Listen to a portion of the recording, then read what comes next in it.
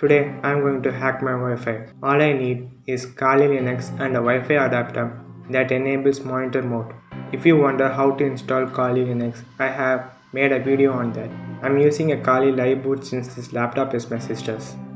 So let's start to begin with booting Kali Linux.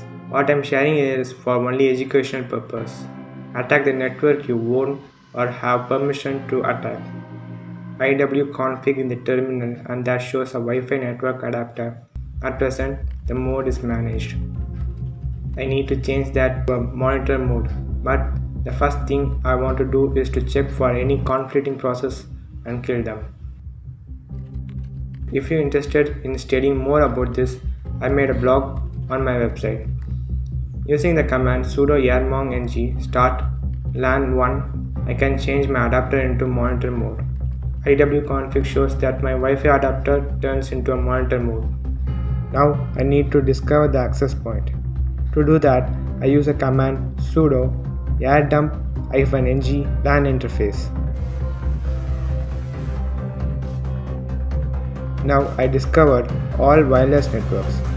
Here is my DSS ID and channel number of the access point that I should make note of it. Yarodump is a command that shows device connected to the network. You can see my device is connected to that network. I open another terminal. I use yarplay command to deauthenticate clients from the network.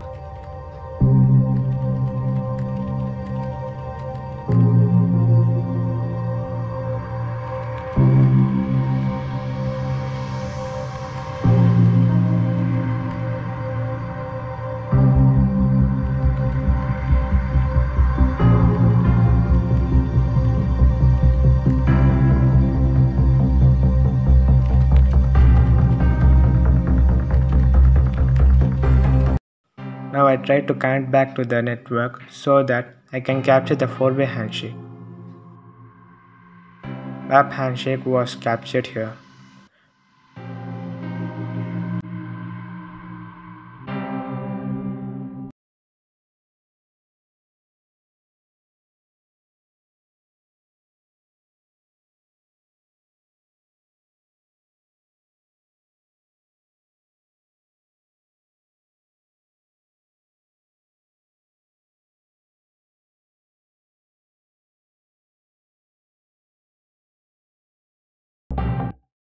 I'm gonna search for the handshake file.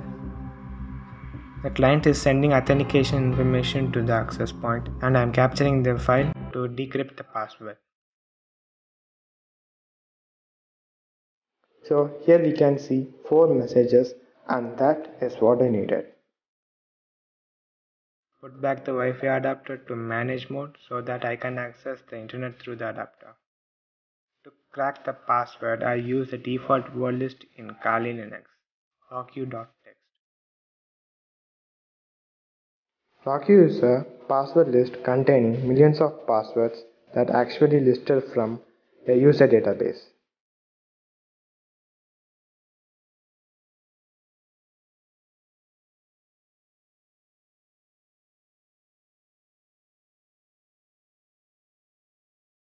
Here's the fun part to crack the password.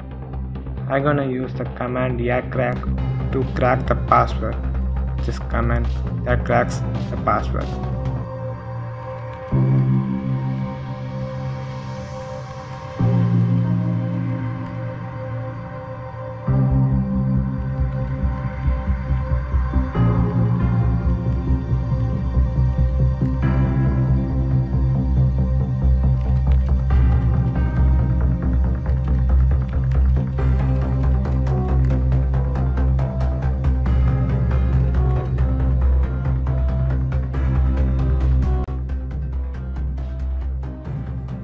This may take some time. The password I was used here is subscribe. So next time I should try to use a long password with a mix of characters and that makes impossible to crack. I hope you enjoyed this video. See you guys next time.